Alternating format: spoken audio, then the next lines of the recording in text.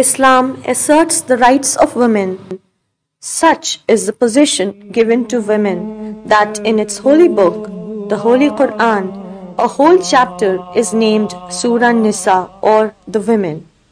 The Holy Quran asserts that men and women have equal dignity. A woman is a completely independent personality. Prophet Muhammad, peace be upon him, upheld the cause of women, especially widows.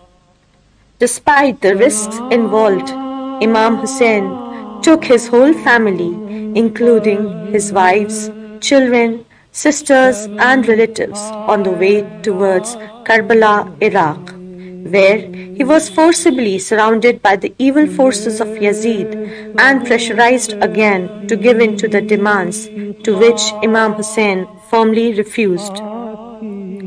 He took his family along because Imam Hussein knew that the noble women of his household or Ahlul Bayt would play a very important role after the tragedy of Karbala, especially his sisters Bibi Zainab.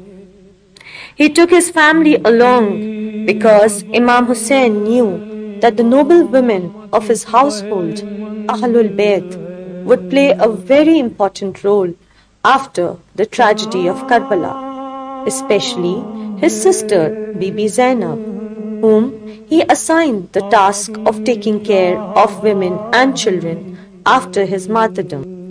It is worth mentioning the fact that both men and women of the Prophet's household played a significant role in this battle, wherein men displayed their physical strength while women stood behind each one of them in supporting their leader Imam Hussein. They were mothers, daughters, nieces, and relatives, and each one of them displayed tremendous strength of character that history has mentioned them in golden words.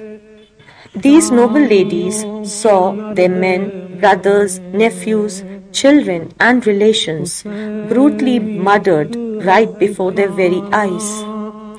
Harassed without food and water, their tents burned and terrorized by the three lakh plus forces of the evil army of Yazid.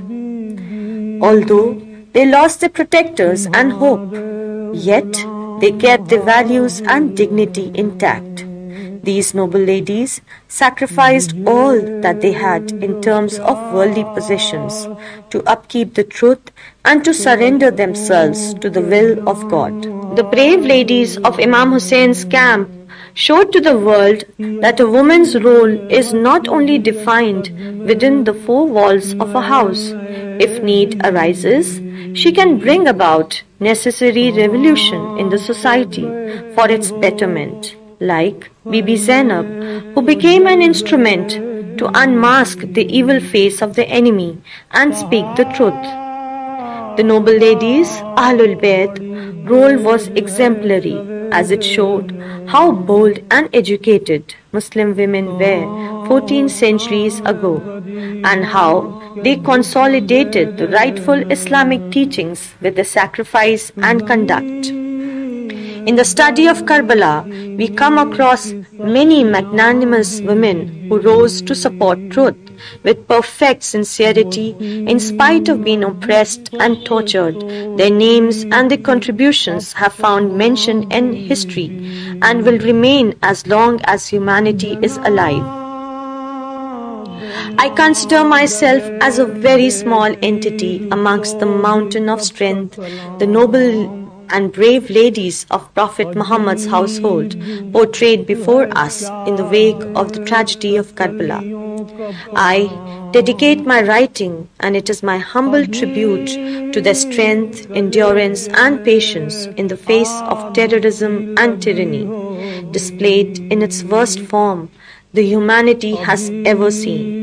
Karbala जब भी याद आएगी इंसानियत शर्माएगी Whenever the saga of Karbala is remembered, humanity would bow its head in shame.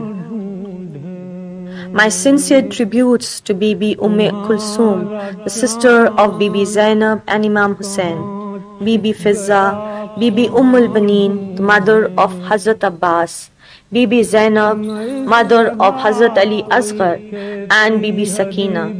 The brave ladies of Bani Asad tribe who were instructed by Imam Hussein mm-hmm. to bury the bodies of martyrs of Karbala.